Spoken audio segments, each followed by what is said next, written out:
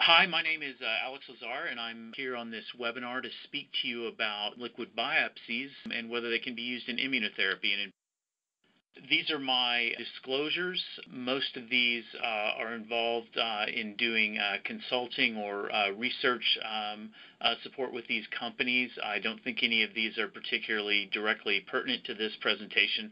There is one um, uh, potentially pertinent um, disclosure, and that is that MD Anderson, who is my employer, and Guardant Health have a formal strategic relationship um, involving the clinical implementation and use of liquid biopsies. However, I will not be specifically um, talking about the products from this company.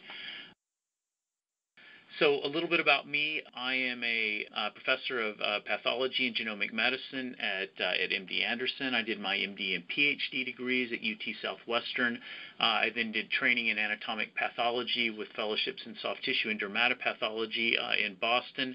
And I have published uh, extensively on molecular diagnostics um, and multi-omic analysis of solid tumors, and particularly looking at targeted and immunotherapy approaches to cancer treatment in, uh, in sarcoma and melanoma. So a roadmap for this uh, short talk uh, will be, uh, we'll talk a little bit about uh, immunotherapy uh, in melanoma. We'll talk about potential biomarkers that can inform the use of immunotherapy in melanoma. We'll then talk about a few general considerations about liquid biopsies, and then we'll have a discussion about whether liquid biopsies can inform or guide uh, immunotherapy decisions in, uh, in, in melanoma. So we've, we've made a, um, a fair number of, uh, of real advances in the treatment of melanoma, both with targeted therapy uh, and, with, uh, and with immunotherapies. And I think you can see on this slide that, um, you know, sort of the first approved therapy um, for uh, for melanoma was dacarbazine. Uh, the results from this weren't great. The next one actually was an, uh, a type of immunotherapy, high dose um, uh, interleukin 2. And then you can see um, around 2011 there was a real explosion um, of both um, immunotherapy um, and uh, BRAF and MEK inhibitors that have been applied to, uh, to, to melanoma. And very interestingly, um, not only uh, have these uh, have these treatments um, actually been discovered and used in melanoma, but you can see here that the survival uh, advantages, uh, at least uh, here listed on this slide, the one-year survival rates for stage four melanoma, which is melanoma that's um, uh, metastasized beyond the regional lymph nodes to further sites away in the body um, have been uh, have been quite impressive with these therapies and have really improved very recently. So that with some of the some of the immunotherapies, um, particularly the combined immunotherapy, we have survival rates of, of up to 85% uh, at uh, at one year. So unfortunately, um, the immunotherapy does not work uh, in all patients in melanoma. We are lucky in melanoma. Um, up to 50% of patients um, uh, uh, will respond, um, particularly to uh, anti-PD-1 um, and uh, PD-1 uh, plus um, ipilimumab type of approaches but we don't doesn't respond to everybody. So a number of factors um, have been looked at in order to try to predict which patients are likely to benefit from um, uh, from immunotherapy. And so approaches that have been looked at are PD-L1 expression. Um, the degree of CD8 um, uh, cytotoxic T cells uh, infiltrating into the cancer, uh, the clonality of those um, of those particular uh, T cells, uh, lots of different things with the mutational um, state of the tumor, looking at the, the, the, total amount of mutations, looking at uh, particular mutations in specific genes, looking at the microsatellite instability um, state of the tumor um, due to um, uh, DNA uh, mismatch uh, repair. Uh, and also, there's uh, there's been some uh, some data showing that copy number alterations may be may affect the likelihood of response as well. In addition, a number of oncogenic pathways may make response more or less likely, and these include the ERK or MAP kinase pathway, the PI3 um, uh, kinase pathway uh, and the uh, the Wnt beta catenin pathway.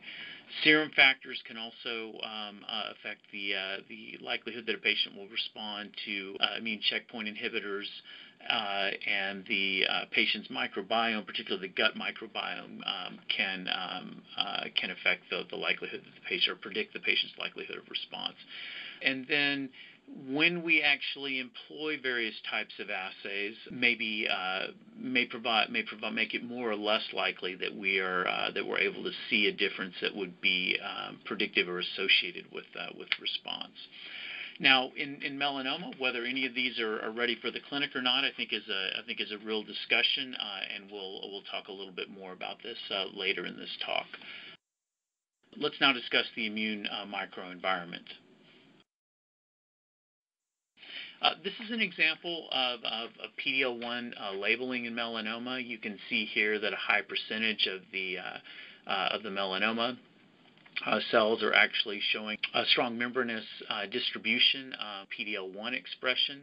And in melanoma, we don't really use this necessarily to predict treatment response. And so the um, expression of membranous PD-L1 in, in melanoma is uh, actually a complementary diagnostic uh, rather than a companion diagnostic, so it's not actually required to use these types of agents um, uh, in melanoma.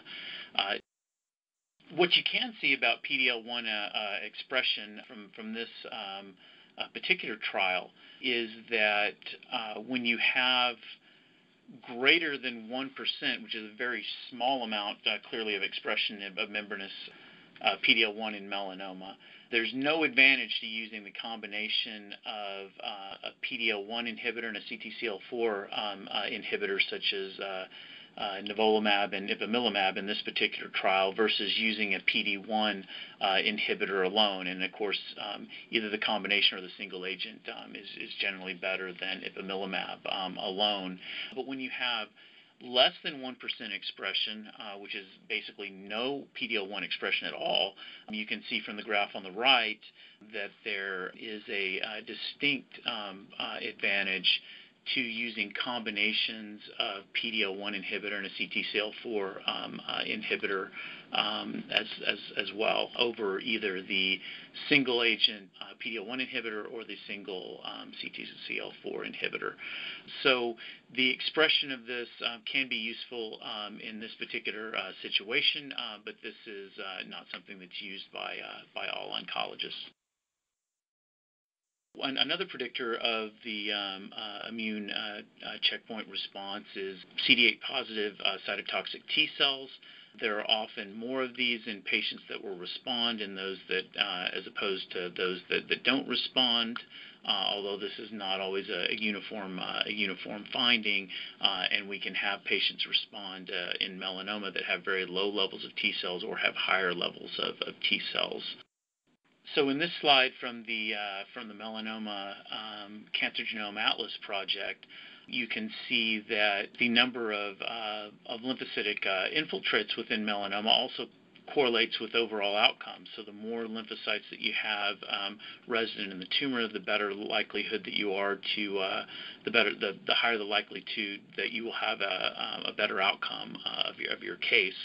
Uh, and of course, um, in addition, we know that an increased number of uh, intratumoral lymphocytes um, is also an important uh, predictor of response to, uh, to immunotherapy.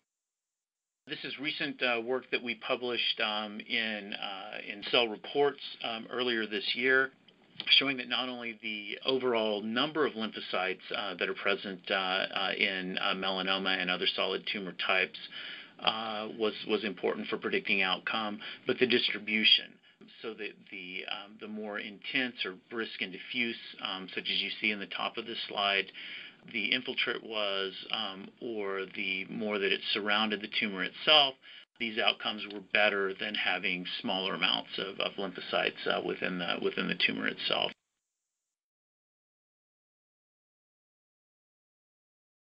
So we'll now talk about um, various types of mutations within the uh, with, within the within the tumor. So another way to um, to predict the response to immune uh, checkpoint blockade is by looking at the, um, uh, the, the total number of mutations in the tumor, and so the higher the number of, of, of, mutations, we feel like there's probably more neoantigens um, uh, that are created and a more likelihood to have a productive uh, immune response that can be helped along um, by the uh, by the immunotherapy. And this has been shown in a number of different uh, systems. This is an approach uh, that we used um, looking at ways to, uh, a few years back, um, to calculate uh, total mutational burden uh, within uh, various um, uh, gene sets in order to predict response.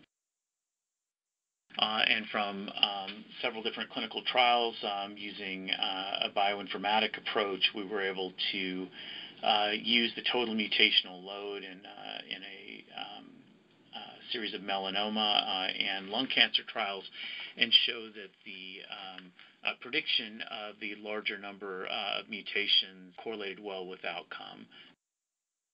So what can be seen uh, in, in, in, this slide is that um, patients that have um, higher uh, mutational uh, mutational burden tend to have um, better overall uh, survival, uh, and that these patients um, also um, had um, considerably better responses to uh, to immunotherapy. Analyzing a further cohort from this publication from Science Translational Medicine we were able to demonstrate that the higher the um, percentage of copy number losses that you had, the less likely you were to respond to um, uh, to melanoma. So the, uh, so this probably corresponds to uh, important uh, tumor suppressor uh, genes, and you can see from panel B uh, some of those that were that are depicted um, across um, across here. Um, you particularly notice um, around chromosome 10 and the losses there that PTEN is one of the genes that's lost there, and we'll be talking about that again in just in just a in just a few moments. Uh, others, others have found that, that particular mutations um, uh, in, spe in specific genes um, can also predict response uh, to immunotherapy. So here's um, uh, particular mutations, uh, recurrent mutations in, in two um, SERPIN genes um, that are involved in, in immune response um, strongly correlate with who will respond to anti-CTLA-4 their immunotherapy. So as, as opposed to um, just total mutational burden, uh, mutations in specific genes can also be uh, important for predicting response. And then, of course, um, uh, now we know that there is a, um, a particular uh, particular case um, of, of, having a high tumor mutational burden uh, that that predicts response, and this is actually um, uh, FDA approved for for solid tumors um, uh, in patients now. So the finding of microsatellite instability, whether it occurs in a neoplasm such as colon cancer or endometrial cancer where it happens commonly, or in other cancers where it can happen uh, very rarely, this is a this is a strong indicator that uh, that predicts um, that predicts response as well. So tumors that have microsatellite instability uh, tend to have um, very high um, uh, mutational burdens. Now we're going to look at some uh, specific oncogenic pathways that correlate with response. So work from um, uh, Tom uh, Gajewski's group um, in Chicago has shown that um, uh, melanomas that tend to have a greater degree of uh, signaling through the Wnt pathway, which is dependent on, on beta-catenin, um, uh, tend to not have uh, as high of lymphocytic infiltrate and are thus less likely to respond to immunotherapy. Our group has shown that another um, oncogenic pathway in melanoma, the PI3 kinase AKT pathway, uh, that the higher the uh, the higher this um, this pathway, um, the, the more flux through this pathway, uh, the less likely you are to see um, uh, lymphocytic infiltrates, and a graphic illustration of that is, is shown uh, here, where you can see in the upper left-hand corner uh, PTEN staining with the immunohistochemical portions that are intact, and then an area where there's clonal loss um, to it right next to it, and you can see that the uh, lymphocytes that are present uh, with CD8 staining, uh, there's a fair number of lymphocytes that are present where PTEN is intact, and therefore AKT, uh, PI3 kinase signaling is low, uh, whereas there are less lymphocytes where um, uh, where the AKT PI3 kinase pathway is, is elevated. and um, the higher the, uh, the, the flux through this uh, PI3 kinase AKT pathway, the less likely you are to respond to uh, to immunotherapy. There, there are also uh, serum factors that, that can predict response to immune checkpoint uh, inhibitors. These, these include um, uh, LDH. Shown in this particular graph is um, response to um, dabrafenib and uh, trametinib, which is a BRAF MEK inhibitor uh, combination. But we see the same thing with immunotherapy that patients that have higher levels of serum LDH are less likely to respond to, to immunotherapy as well as targeted therapy. Uh, another emerging um, uh, factor for predicting uh, immune uh, checkpoint response in melanoma um, is the uh, is the microbiome. We now know that the uh, the microbiome of the of the gut of patients um, uh, with cancer can uh, can modulate responses to therapy, and you can see um, uh, several papers um, that, that correlate particular features um, of the um, of the microbiome with uh, response or non-response to anti-CTLA-4 or anti-PD-L1 uh, therapy. So there were a series of, of three um, back-to-back papers um, uh, in uh, in Science this year. I'm going to present some of the data that came from from our group showing that uh, features of the gut microbiome uh, were associated with uh, responses to to immunotherapy in, in in patients uh, both in melanoma and in other solid tumors as well. Our, our work uh, was was solely with uh, with melanoma, uh, and so what we were able to to to demonstrate was that responders um, had a much more diverse, meaning more species of, of, bacteria within their microbiome, whereas those with less diversity um, had um, had less. Uh, had less likelihood of, of, of, response, as shown in the Kaplan-Meier curve in the bottom left. So this was a, uh, a finding that um, uh, was ultimately uh, replicated, where in mice we were able to show that by switching the microbiomes, we could make the mice um, uh, more or less likely to respond uh, to immune checkpoint therapy.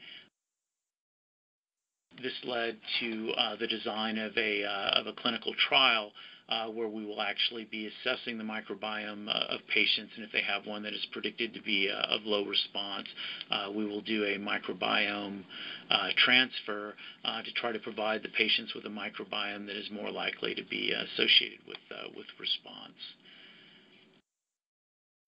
Uh, recently, we had a proof of principle uh, in patients that by switching the microbiome, we could actually um, uh, make a positive change. Um, so, as you know, uh, as you probably know, uh, immune therapy can have a number of side effects, um, including colitis. Um, this is a patient uh, with colitis um, secondary to um, uh, being treated with a combination of um, an anti-PD-L1 and anti-CTLA-4.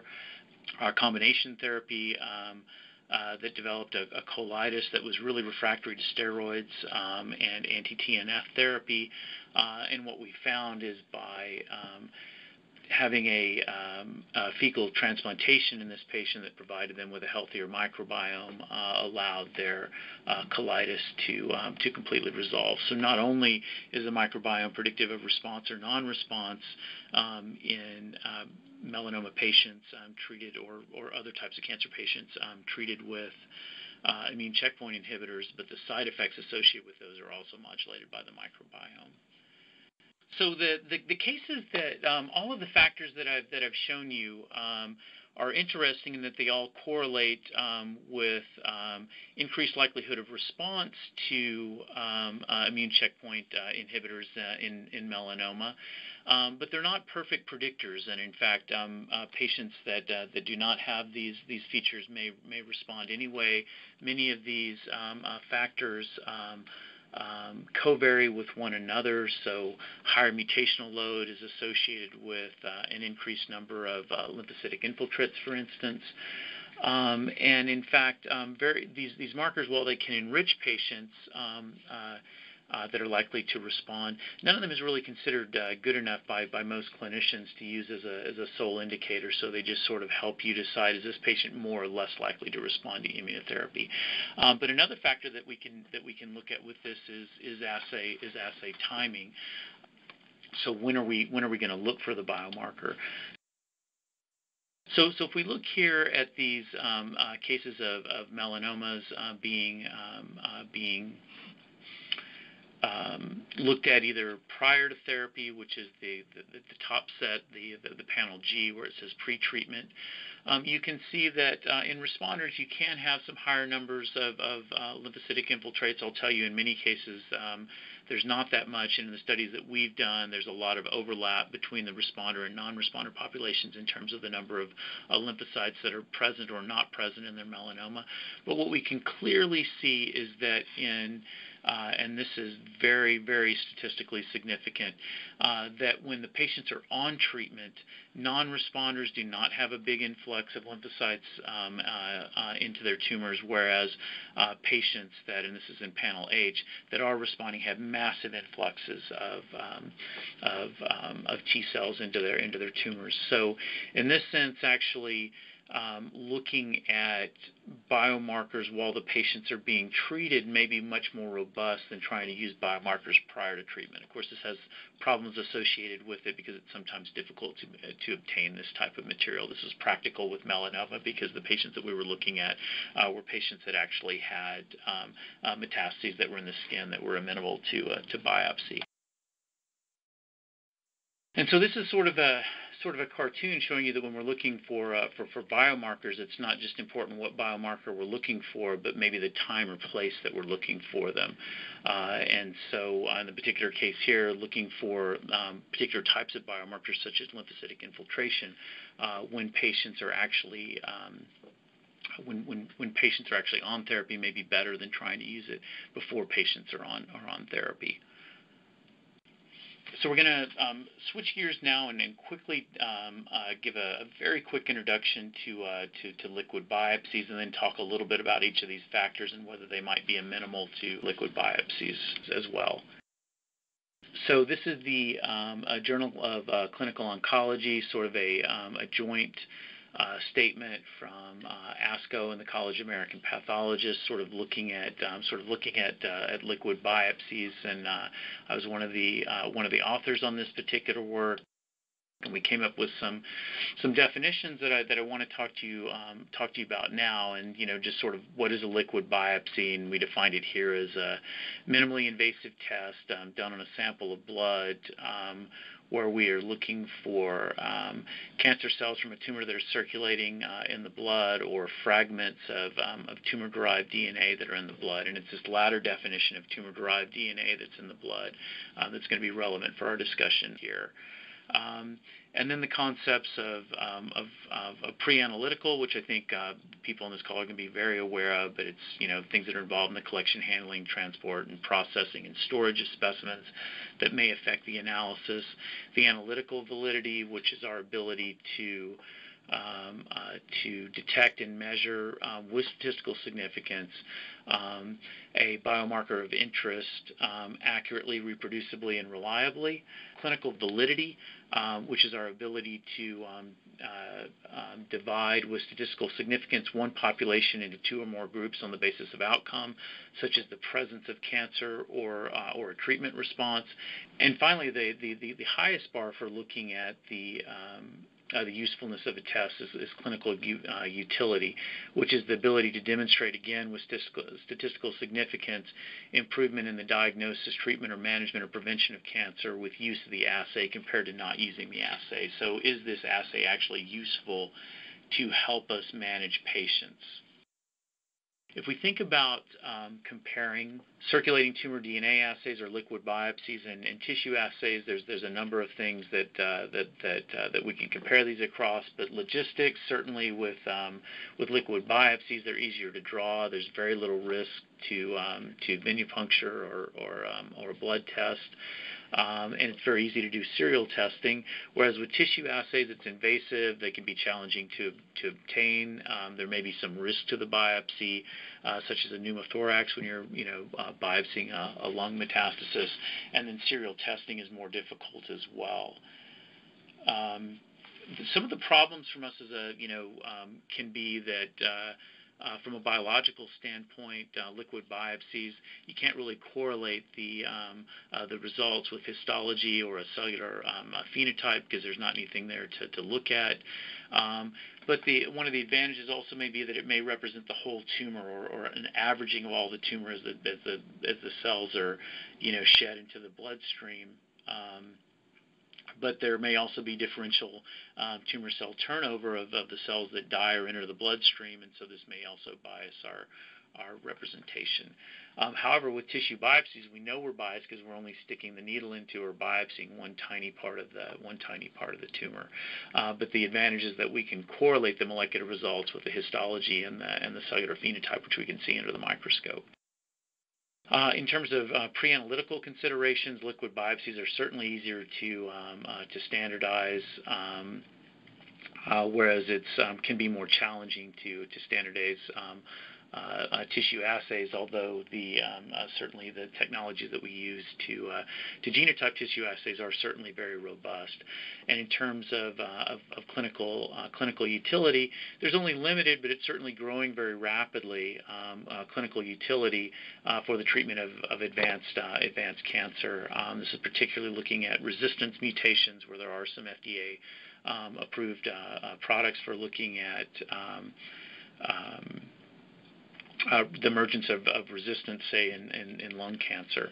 Uh, whereas with um, tissue assays, just because they've been around longer, we have a lot of, um, of evidence associated with um, uh, how we can use these to help manage um, uh, late stage cancer patients. So one of the important things um, from the uh, uh, from from the pre-analytic considerations is that we really need to understand with liquid biopsies how our collection and handling uh, procedures affect results, um, and this is something that there's uh, certainly uh, active work going on uh, in terms of our analytical uh, validity, uh, we really need to understand the performance um, characteristics for liquid biopsy assays and how these may differ between different people that, that offer these that offer these assays.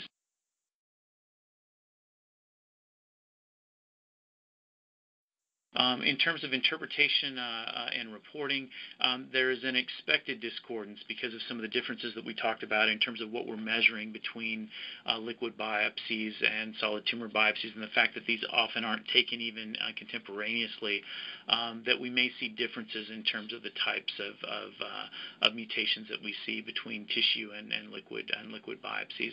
And then, of course, it's um, uh, one of the other things that's important with um, with the interpretation interpretation is the uh, what do you do with the clonal hematopoiesis of indeterminate potential uh, when you see a um, a small clone um, of, say, T, uh, uh P53 mutation that is uh, that is present uh, in the liquid biopsies.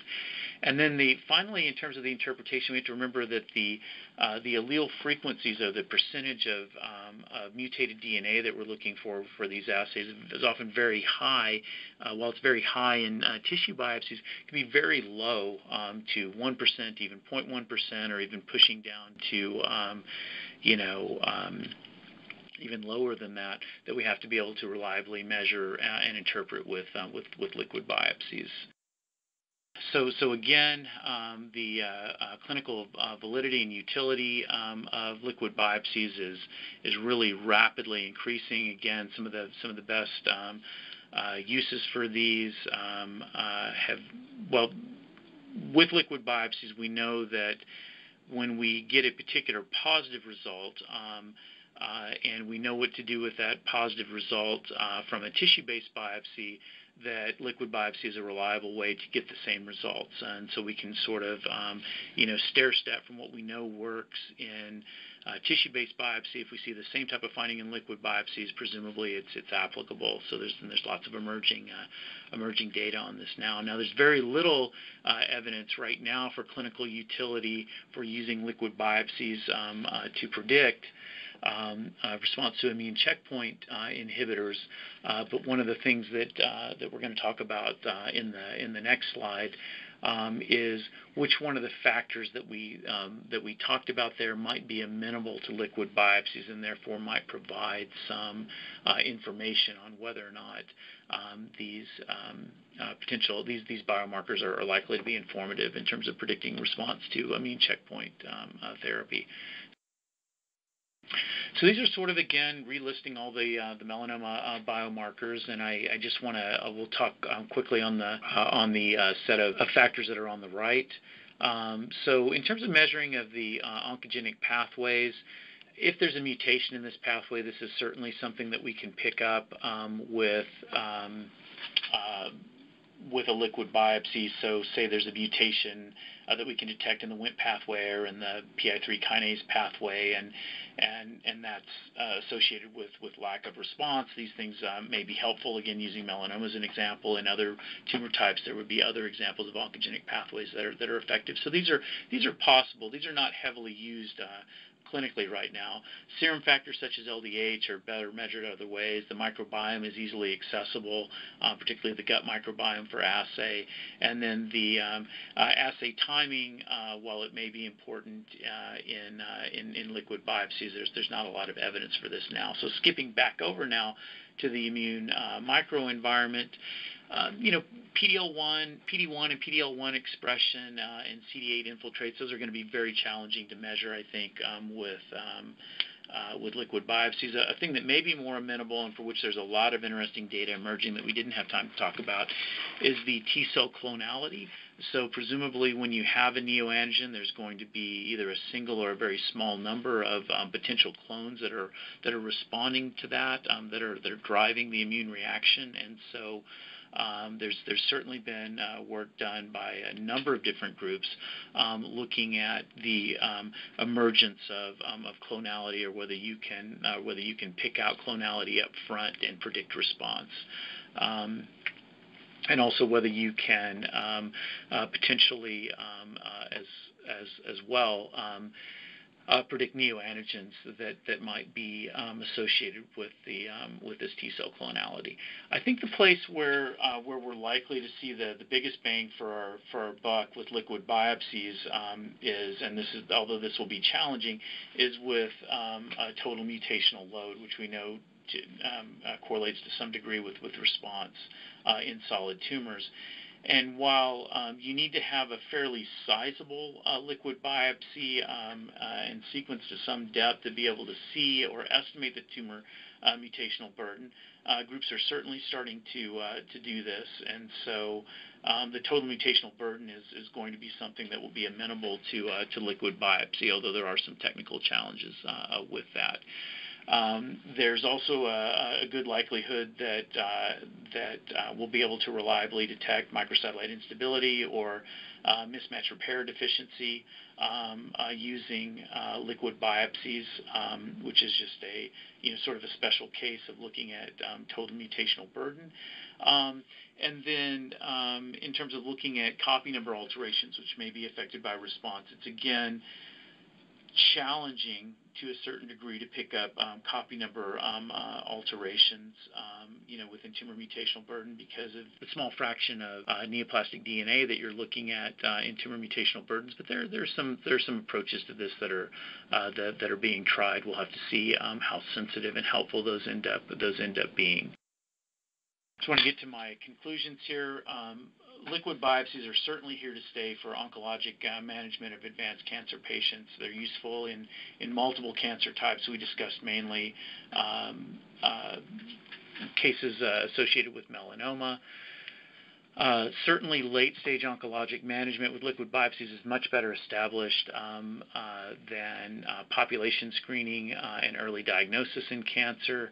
Um, and these liquid biopsies are becoming a preferred method for, for documenting resistance to targeted therapies where it may be difficult to get a secondary biopsy. Um, the, the, the, best use cases for, uh, for looking at immunotherapy in solid tumors is probably going to be for mutations associated with immunotherapy response, like we talked about, um, microsatellite instability, um, and total mutational, uh, total mutational burden. And in the future, we may move with liquid biopsies beyond DNA and uh, look at ways to measure and, and, and assay um, uh, RNA or, or, gene expression, uh, maybe and maybe methylation profiles that may be interesting as well. So uh, thank you very much for your attention.